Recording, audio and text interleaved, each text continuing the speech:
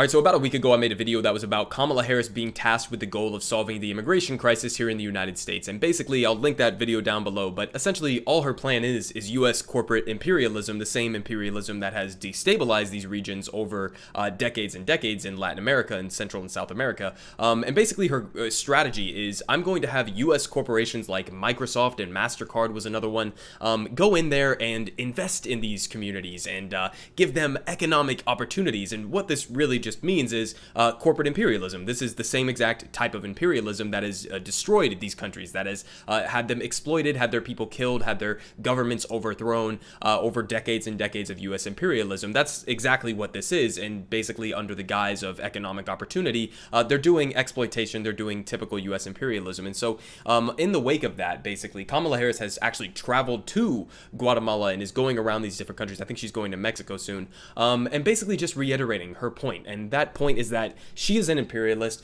Her strategy for solving the immigration crises is nothing other than just scolding these people and um, uh, reiterating some of the worst mistakes that we've made throughout our history that have caused the immigration crisis in the first place. So here's what she had to say while she was in Guatemala, uh, basically just talking about how people shouldn't come to the U.S. border.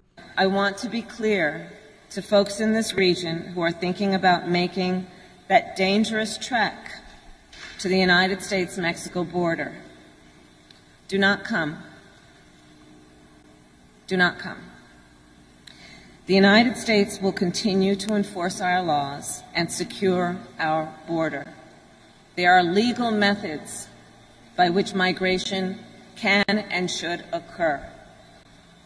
But we, as one of our priorities, will discourage illegal migration.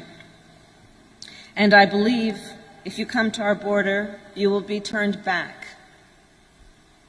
So let's discourage our friends, our neighbors, our family members from embarking on what is otherwise an extremely dangerous journey.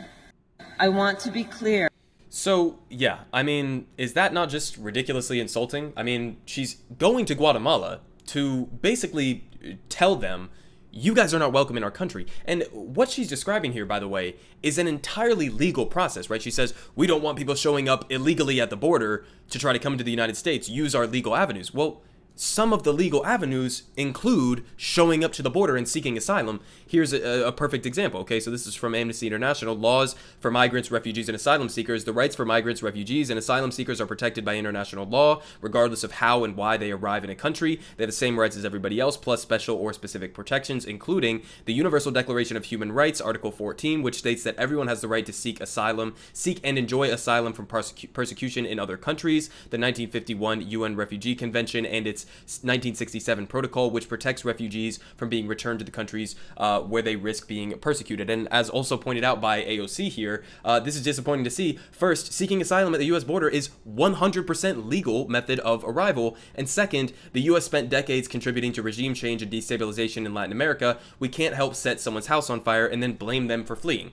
So Kamala Harris has been tasked with the priority of solving the immigration crises, and her solution is to repeat the exact same goddamn mistakes that created the immigration crises. So she clearly doesn't understand the political situation, or maybe she does understand and is just following in the footsteps of previous U.S. imperialist presidents, um, because this is exactly what our same agenda has been up until this point. Please explain to me how what Kamala Harris just said could even be distinguishable from what Trump would say in this exact same situation, or Mike Pence, or whatever, uh, as they would be going and doing this exact same trip. It's indistinguishable. This is the exact same line that Republicans use on immigration. Okay, it's this completely fabricated narrative that these people are coming up here, and, and this was a good way that I saw uh, portrayed about it. Um, is that American politicians talk about immigrations, immigrants, as if refugees and asylum seekers are, are planned uh, planned the wrong vacation right? So she talks about this casually, as if, oh, well, don't come, don't come here, right? We have legal immigrant. People are fleeing their countries because they fear for their lives,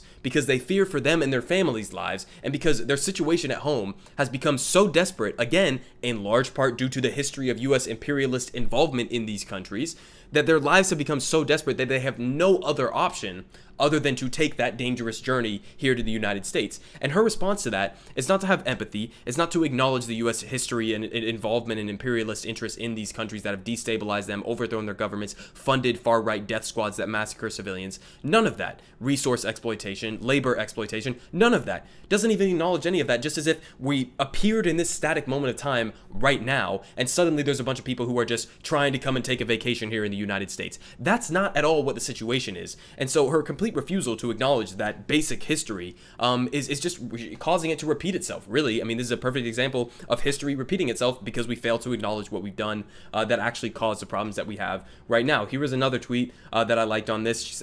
Uh, Enrique Acevedo uh, says the VP went all the way to Guatemala to send a message to the Republican base here in the U.S. This statement is hardly going to persuade migrants fleeing violence, bad governance, climate change, or the effects of the pandemic. This statement was not for them. And he's exactly right, okay? This statement was not for actual people in Guatemala because people are not, they don't have the choice to flee. She portrays this as if it's like a preference. It's not a preference. People are being forced to do this, okay?